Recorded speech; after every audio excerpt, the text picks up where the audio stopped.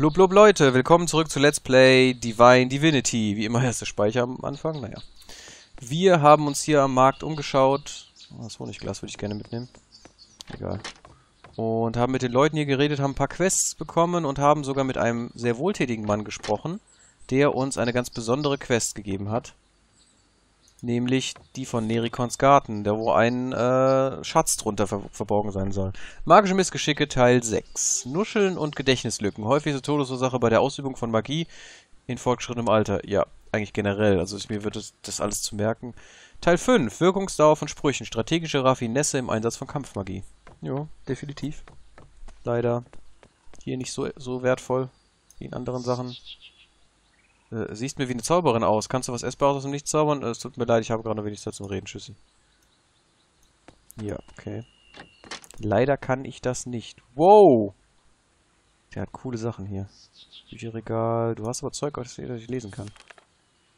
Die Abenteuer des Piraten Omar, vierter Teil. Nach dem Ableben des berüchtigten Piraten Omar versuchen viele es Omar in Verruchtheit und Ruhm gleichzutun um, und somit seinen Nachfolger anzutreten. Die kommenden zwei Jahre waren gezeichnet von einem blutigen Machtkampf unter den Piraten. Dieser Kampf war den Händlern mehr als willkommen, da sie endlich wieder recht unbehelligt ihren Geschäften nachgehen konnten. Ein vielversprechender Nachfolger Omars war ein Hühne namens Fletcher, ein ehemaliger Söldner, der sich der Piraterie zugewandt hatte. Jedoch war Fletcher eine Landratte und so geschah es, sorry, dass er und seine gesammelte Mannschaft starben, da durch seinen Befehl das Schiff vom Kurs abkam und an einem türkischen Riff zerschellte. Ja, beste Kerle. Noch mehr, ja, das sind alles Zeug, das man nicht gebrauchen kann. Oh, Goldmünzen, ja, das würde ich gerne mitnehmen, aber wenn ich das mitnehme, dann haust du mich wieder. Ist nichts dabei. Okay. Okay, kann ich mich an die hier vorbeischleichen? Entschuldigt bitte, meine Dame, aber diese Tür führt zu meinen privaten Gemächern. Entschuldigt, das wusste ich nicht. Eigentlich schon, nur es war mir egal.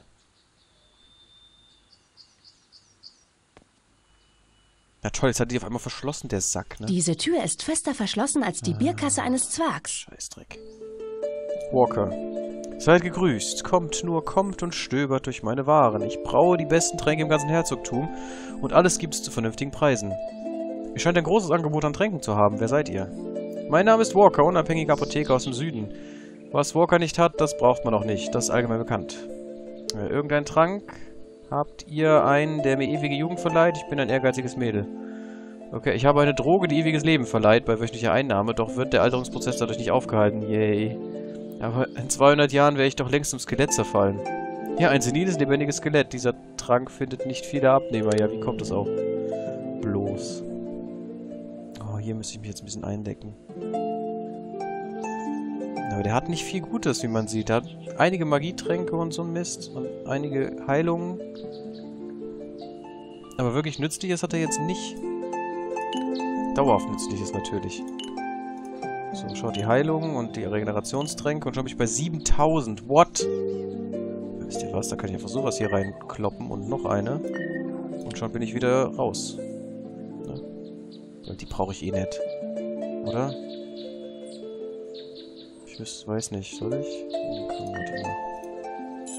Vielleicht kriegen wir so auch noch ein bisschen was hin. Ich hab, bin langsam echt blank, ne? Ja, die Kette passt noch.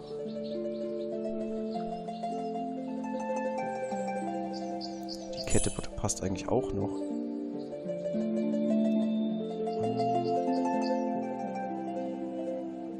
doch mal nur so einen Rubinring gehabt, oder? Ist der Kristallring. Geistresistenz, jo. Mehr Wahrnehmung. Hm. Alles nicht so das Wahre, Leute. Alles nicht so das Wahre. Äh, was, warum, was auch immer das jetzt war? Den könnte ich noch drauflegen. Jo, machen wir es so, hä? Mehr hast du nicht. So passt besser. Dankeschön. Tschüss. Warte mal, hast du noch was zu sagen? Ich suche noch einen ganz besonderen Trank. Nee, das ist es nicht. Äh, ich hätte gerne etwas äußerst Seltenes, und zwar keinen Trank, aber natürlich nur, wenn ihr so etwas verkauft. Ah, ich besaß so einen Gegenstand, habe ihn aber gestern verkauft. Es ist, äh, es ist die goldene Münze des Transportes. Man kann sie nur zu, äh, man kann sie nur zu Boden fallen lassen und wenn man sich ihr nach ihr gebückt hat, war man an einem anderen Ort. Ich habe sie närrischerweise einem ehrlich aussehenden Gentleman zur Ansicht überlassen und bevor ich äh, Eigenschaften und Preis nennen konnte, ist er auch schon damit verschwunden. Allerdings habe ich die Genugtuung, dass er höchstwahrscheinlich jetzt gefangen ist. Die Münze bringt einen an zwei verschiedene Orte, abhängig davon, auf welcher Seite sie landet. Beide ohne Ausgang. Es gibt einen dritten Ort, eine Höhle angefüllt mit vielen Schätzen, aber der Dieb muss schon unglaubliches Glück haben. Man gelangt nur dorthin, wenn die Münze auf ihrem Rand landet. Okay, finden wir die noch oder so? Haben wir eine Möglichkeit, sie zu finden? Das wüsste ich jetzt gerne. Oh, und der mag uns jetzt nicht mehr so, weil wir versucht haben, in seine Gemächer zu gehen. Mano, aber ich will. Ich will hier so ein bisschen plündern, Menno. Müsst ihr, müsst ihr doch verstehen, Mensch. Ihr Händler, ihr. Kostet viel Geld, mit euch hier zu verkehren. Und ich habe nur 47.000. Wahrscheinlich mehr als ihr als die meisten habt, aber... Ähm, okay, wir haben auch die Karawane übrigens nicht gefunden bisher. Guck mal, ein Trainingsplatz mit Blut. Und Söldnern. Ja, machen wir mal wieder ein paar Söldner platt, ne? Auch geil. Ich will zu dem Garten, Leute. Oh, guck mal. Eine Truhe. Wie wunderbar. Mit einem Schlüssel, den ich hatte. Uh, Königsschild. Ja, den hatte ich auch nach einer Weile. Der war super. Mit meinem Krieger und eine Todesklinge. Oh, schaut euch an. 44 bis 107. Wie geil ist das denn? Dieses Ding ist so super. ein geiles Langschwert. Ja, und das hier sieht sehr nach einer Karawane aus. Die vielleicht mal Früchte hätte bringen sollen. Ein Grabstein. Hier ruht Maximilian. Er starb betrunken unter den Rädern eines Ochsenkarrens. Schon Maximilian heißt, ne? Soll natürlich keinen beleidigen, aber... Alle, die ich kenne, die so hießen, waren irgendwie komisch. Zwergen, ey. Wieso stirbt man eigentlich betrunken unter den Rädern eines Ochsenkarrens? Das ist auch geil. Okay, hier ist der Weg zu dieser ähm, Kathedrale. Guck mal, Münzen. Das ist aber nett, dankeschön. Stehen drei Leute rum. Okay, wollen wir mal mit denen reden? Otto, Barry und Gina. Seid gegrüßt. Möge euer Leben voller Frohsinn und weiser Gedanken sein. Habt ihr von unserem Meister und seiner Lebensphilosophie gehört? Äh, nein, habe ich nicht und interessiere mich auch nicht für euren verfluchten Kult. Nee, wer war euer Meister doch gleich? Unser Meister trägt den Namen Nemris und obwohl er uns nun verlassen hat über die Brücke des Regenbogens und eine höhere Lebensform, äh, um eine höhere Lebensform anzunehmen, ist sein großer Einfluss auf uns alle von Dauer. Er hinterließ uns ein Buch, damit wir seinen Faden zu wahrer Weisheit folgen können. Ich kenne es auswendig. Vielleicht sollte ich es euch übergeben, damit auch ihr gerettet werden könnt. Nehmt. Aha. Äh, ich danke euch, doch bin ich wahrlich nicht an eurem Glauben interessiert. Wohlan, Freibeuterin, aber vielleicht könnt ihr uns ja trotz uns, eures Unglaubens helfen. Der Zutritt zum Garten von Nerikon ist uns verwehrt und wir können den Geboten unseres Meisters nicht Folge leisten. Der Garten ist verschlossen. Okay, das ist schön. Du hast nur Quatsch.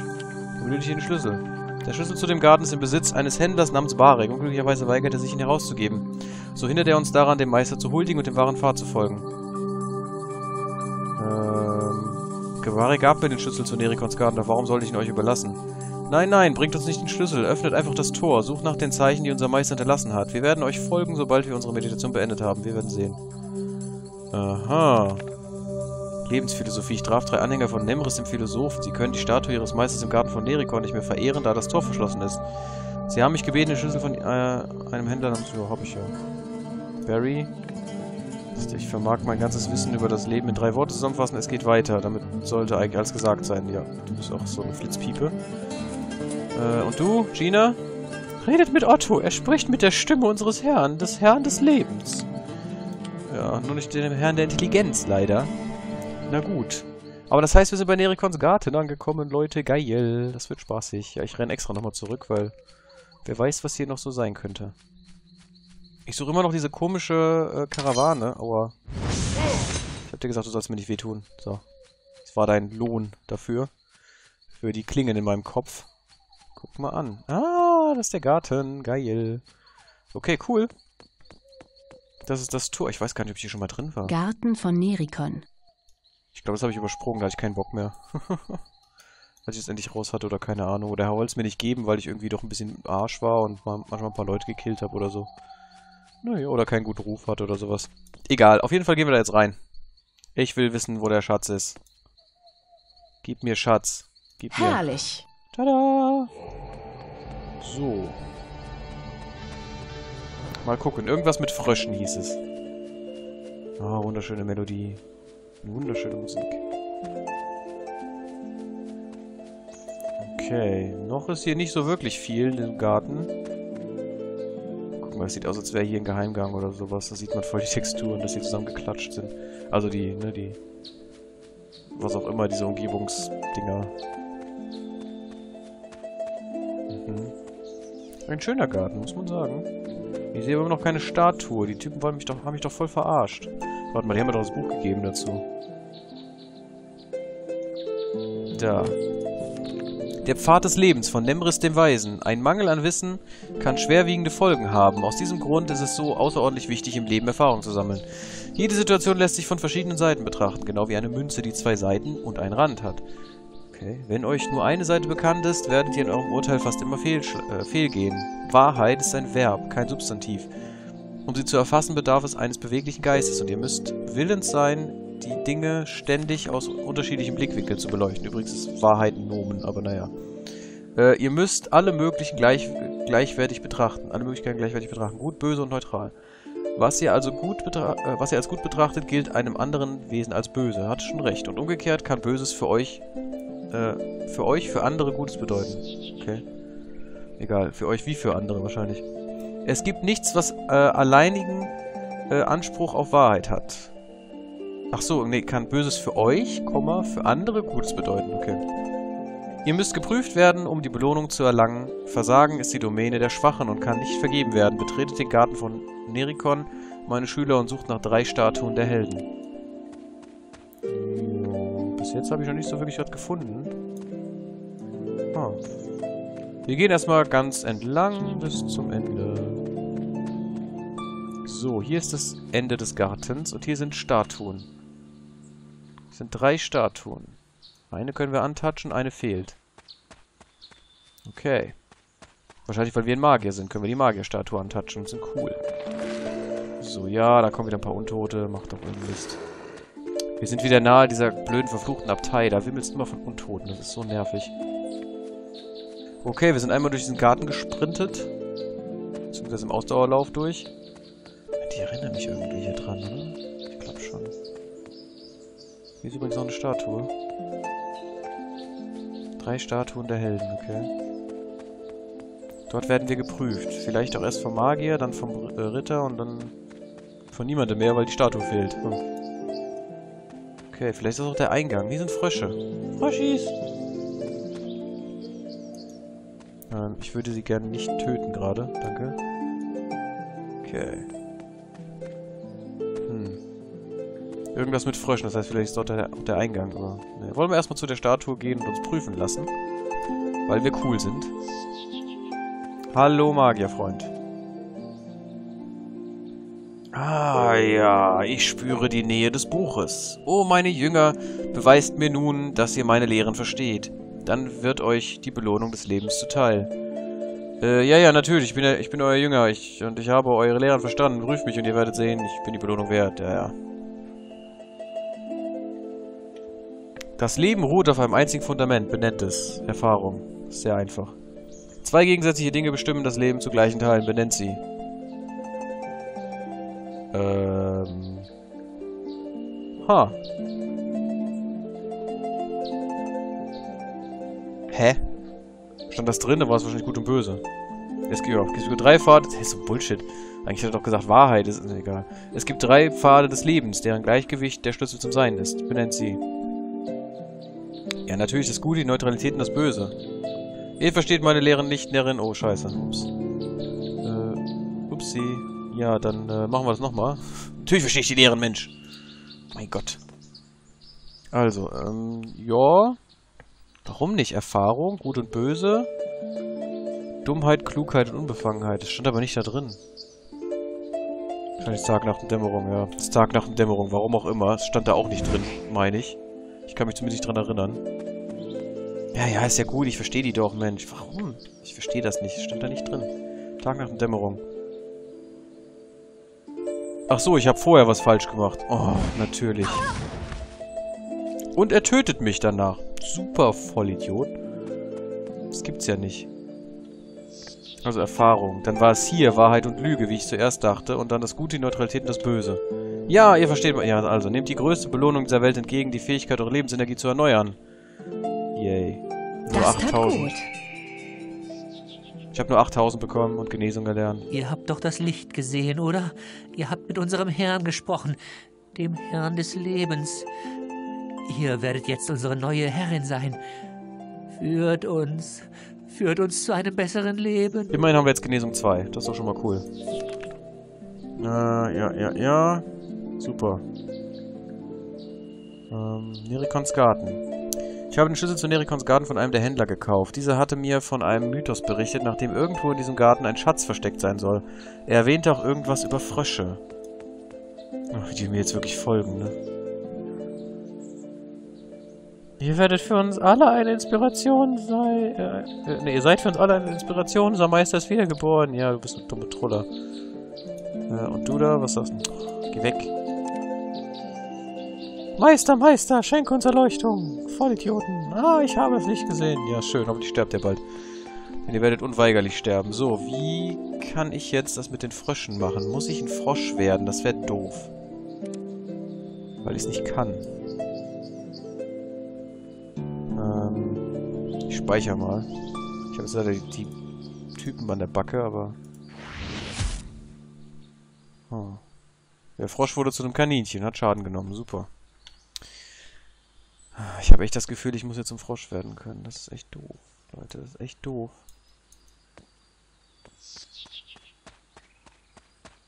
Ich könnte zu einer Katze werden, aber nicht zu einem Frosch. Ja gut, ich hau ab. Dann brauche ich erst eine Froschstatuette. Und ich weiß nicht, wo ich eine herkriegen soll. Ja, verschwindet. Darf ich wieder? Dankeschön. Jo, das war der Garten von Nerikon. Leider noch nicht so erfolgreich, wie ich es gerne gehabt hätte. Hm. Warte mal, vielleicht hat ja Madaneus ein bisschen was.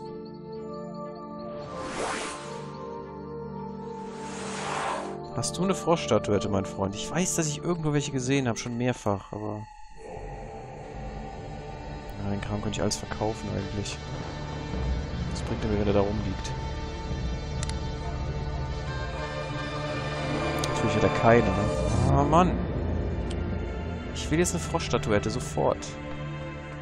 Haben will.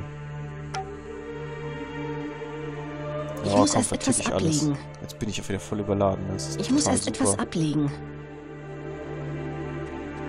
Das Dumme ist, ich weiß halt nicht wo. Das ist das Problem, Leute. Ich könnte nachschauen, aber ich habe irgendwie keinen Bock nachzuschauen gerade. Wo könnte das nur sein? Lecker Schweinebraten. Schönes Abendessen. Ist gesättigt. Ja, nach dem Schweinebraten kann man es verstehen. Oh, ich habe ja ein Schild. Dabei. Dann können wir die Klinge ja nochmal abgelegt lassen. Ja, jetzt kann ich auch wieder laufen. Sehr gut, ich habe ein bisschen was dabei. Ich werde mich jetzt mal umgucken, Leute. Wenn ich noch wüsste, wo die Truller äh, ist. Mit der wir mal geredet hatten. Oh Mann. Der Magier hat aber dummerweise auch nichts dabei. Das ist voll doof. Ich will diesen Garten lösen, aber guck mal, wie das hier aneinander gereiht ist. Das ist auch komisch. Ne? Hat jemand ordentlich geplant. Ne? Und da oben geht's zum Dings. Okay. Ars Magicana habe ich. Da unten Zwergenversammlung. Ja, da werde ich jetzt mal vorbeigehen. Hm, denn da kann ich nochmal den, den Dings aktivieren. Hier oben kann ich noch einen schwarzen Fleck wegmachen. Sehr gut. Da kann ich ja noch den Zwergenteleporter aktivieren und mich dann irgendwo hinporten. Aber wo? Wo ist die Frage? Wo bringt es mir was? Wo finde ich, was ich suche? Eine Froschstatuette. Finde ich die? Hm, hm, hm. Aber hey, immerhin haben wir mal den Zwergen-Teleporter aktiviert. Wartet mal. Wenn ich mich jetzt teleportieren würde... Ich will erstmal zum Gasthaus, zum Zwergenbrot. Und mir den Teleporter noch schnappen, schnell. Dann haben wir nämlich alle bisher. Alle, die wir jetzt gesehen haben. Zerstörtes Dorf, Orklager. Ich weiß nicht, wo eine ist, ne? Wo jemand Elfenstatuetten hat. Gehen wir mal zum Zwergenbrot. Ich glaube, da waren doch auch äh, die Heiler. Vielleicht hat ja jemand von denen eine. Blöd, blöd, blöd, blöd. Ansonsten muss ich es aufgeben. Weil, ne? Was soll ich machen? Also dann muss ich erst es erstmal aufgeben. Natürlich nicht komplett, weil wir werden natürlich den Garten noch erforschen. Äh, und rausfinden, was es dort noch Schönes, Leckeres gibt. Immerhin haben wir 100 darin investiert. Ich will das nicht einfach so verkommen lassen. So, noch einer der Zwerge. Brot, das betrunken macht. Das wäre doch auch mal was. so. Hier waren sie anscheinend leider nicht. Silvana. Was könnt ihr mir über diesen Kampf erzählen? Das ist ein grausames Schauspiel, Leute steigen für Geld. King Watzlaw in den Ring, das ist ein ziemlich starker Bursche. Ich denke nicht, dass ihn irgendjemand schlagen kann. Leuchtmedaille nett. Ich werde gehen.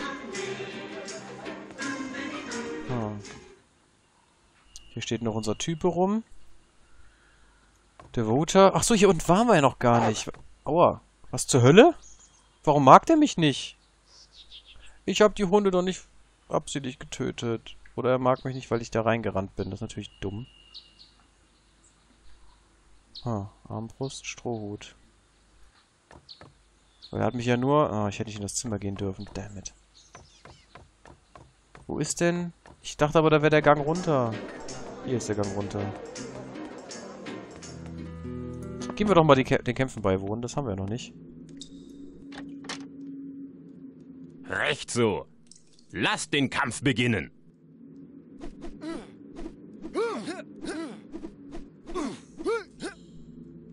Halt, das ist genug, ich kann nicht mehr. Oh, Watzlaw bleibt der ungeschlagene Champion. Nun, es gibt, weiter, gibt es weitere Herausforderer? Los, kommt schon, sei nicht so schüchtern. Sei nicht, seid nicht schüchtern. Besiegt Watzlaw im Ring und gewinnt eine hübsche Stange Geld. Okay. Können wir ja mal versuchen. Ich meine, was haben wir schon zu verlieren? Aber Leute, das versuchen wir erst beim nächsten Mal, wenn es wieder heißt Let's Play Divine Divinity. Bis dann, Leute. Tschüss.